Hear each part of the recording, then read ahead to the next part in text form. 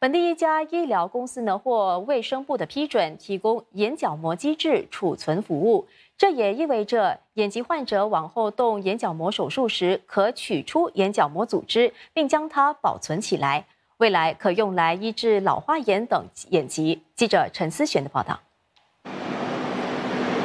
眼角膜机制属于眼角膜的部分组织，是眼睛前端的一层透明薄膜。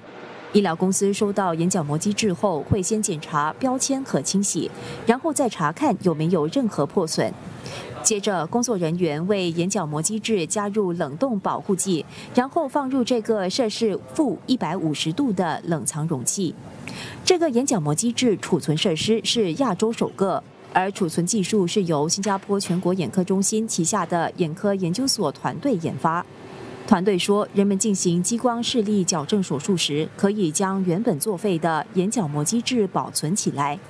当年纪大时患上老花眼，患者可重新植入眼角膜机制，降低出现排斥反应的风险。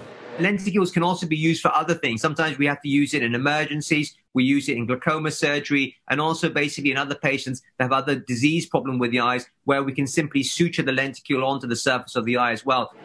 一般来说，眼角膜机制可永久保存，二十年的储存费介于四千到五千元。We are honored to be able to help the local healthcare industry by helping patients store their lenticules in our facility until the lenticule implantation becomes the standard of care.